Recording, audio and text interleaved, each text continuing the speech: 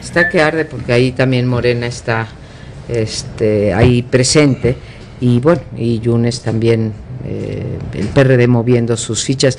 Decía Celedomex, desde luego que es la, la elección más importante por muchos motivos, Pepe, y no tanto porque te vaya a definir quién es el presidente o qué partido va a ganar en el 2018, pero date cuenta no solo que es el Estado del presidente y si tiene un valor simbólico, pues es el, Estado con mayor presupuesto, estamos hablando de 283, 283 mil millones de pesos, estamos hablando de un padrón de 11.6 millones eh, de electores y bueno, tantos más eh, gobernados.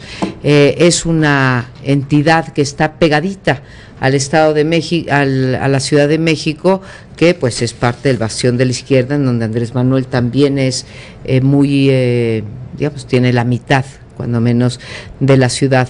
Por todo esto es eh, muy importante y desde luego es importante también, Pepe, porque en Coahuila están más o menos empatadones, en Colima parece que ya el PAN va muy arriba, que es, no hay nada irremontable, pero si llegara a perder estos tres estados, se va a quedar con 11 el PRI, primera vez en su historia. Entonces pasaría, fíjate lo que te voy a decir, pasaría de tener en este año, que todavía tiene 15 gobernadores, y, o sea, 16 si le cuento Chiapas, que es más verde que tricolor, pero verde finalmente, digo, pero tricolor, finalmente, eh, pues pasaría de tener un padrón de 40% a tener un padrón de 27% y de controlar el 43% del presupuesto nacional, bueno, de las entidades, a menos de 30. O sea que nada más para que abramos boca. Y digo esto porque por eso son tan importantes las elecciones, las elecciones mexiquenses, ¿sí? Y me decías eh, guerra, sí. Veo hoy en, en, las noticias pues que Delfina acusa de guerra sucia. De guerra sin duda, me comentabas tú que... Pues, no hay guerras sucias, todas son puercas, asquerosas, marranas. Eh, pero el, problema aquí es que ya los ciudadanos estamos un poco hasta la coronilla de que esas suciedades pues son ciertas. La, la, gran mayoría de muchas de ellas se han presentado pruebas, de otras no, otras las suponemos, pero todos sabemos, el otro día me corregían, yo decía que el dinero que juega en, la elección es más o menos de 6 a 1, ¿sí?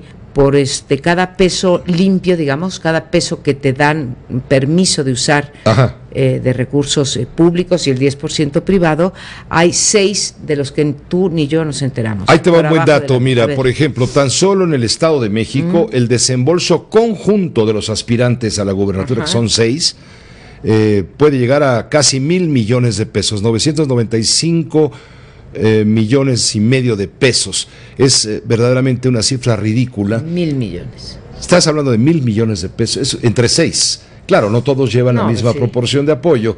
Va de acuerdo con eh, la representatividad que tiene cada partido. Y ese cálculo es, son, es, no es el INE es lo que se calcula. Es el, es el costo del INE. Dineros, o nada más es el, dinero limpio, digamos. El costo de las campañas autorizadas por el INE. Ok, entonces sí, porque son eran 283 eh, millones sí. que podías gastar. Multiplícale por cinco candidatos, ya llegaste y a los mil millones. Bueno, ahora, pero eso, es legal. Multiplícale por seis, que el otro día me, decían, un señor que sabe mucho de elecciones, me decía, no, María Paro, te equivocas, multiplícale por diez. Pero dejémoslo bajito, por seis, ¿sí? Entonces no son mil millones, son seis mil. En fin, ahí estamos. Ahora, si es, es diferente robar mucho que poquito, no lo sé. Yo creo que el principio está mal. Es no se vale hacer fraude eh, a través del dinero en las eh, campañas. ¿sí? Ahora, eh, por un lado hablo de Delfín, hablo de los dos punteros. Por un lado de Delfín, en donde habla de un decálogo de ética pública, cuando no ha podido desmentir no lo podido desmentir porque es cierto, se mostró, se mostró la nómina o se mostraron las boletas de pago en donde ella descontaba. Des, ¿no? un porcentaje, 10%, al salario de, ciertos empleados. Ciertos empleados, directivos del municipio de Texcoco cuando ella gobernaba. es el, famoso eh, diezmo. Exacto. Se ha encontrado que dan despensas, promesas, etcétera, lo, lo que hacen todos al nivel que puede Morena, los otros pueden más.